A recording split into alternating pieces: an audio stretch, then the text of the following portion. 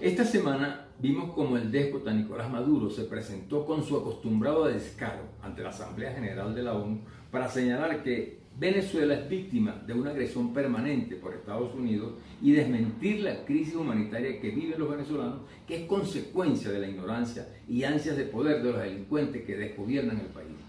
Esa es la conducta clásica de los tiranos.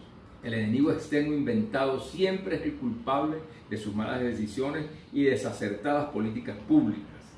En el marco de esta reunión llevada a cabo en Nueva York, países como Argentina, Chile, Colombia, Perú, Paraguay y Canadá suscribieron una comunicación ante la Corte Penal Internacional a través de la cual solicitaron que se investiguen los crímenes de lesa humanidad perpetrados por Nicolás Maduro contra el pueblo venezolano, sustentada en la denuncia interpuesta por la fiscal general Luis Ortega Díaz ante este organismo internacional por violaciones a los derechos humanos.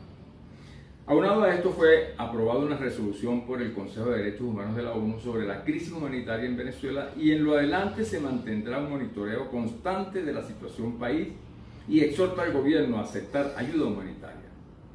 Al tirano acorralado pronto le llegará su hora de rendir cuentas ante la justicia.